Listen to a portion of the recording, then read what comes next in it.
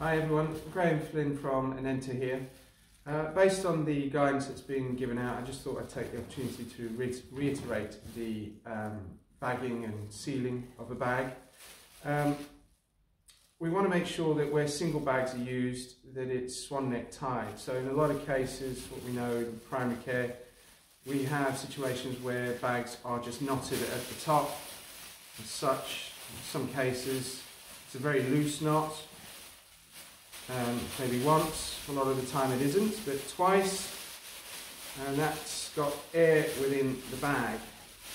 And if it's got the air within the bag and the driver comes along and collects it, picks it up, there's the opportunity for the air to escape the bag, and then obviously that can go straight into their face. Uh, so what we want to do is, in your UN approved bag, you've got your clinical waste,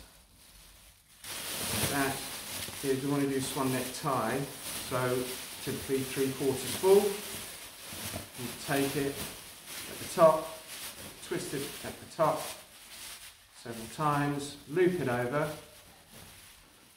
take your tie tag, and just pop that on there.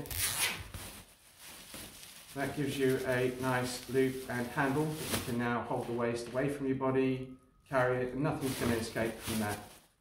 So hopefully that helps you. Uh, speak to you soon. Bye bye.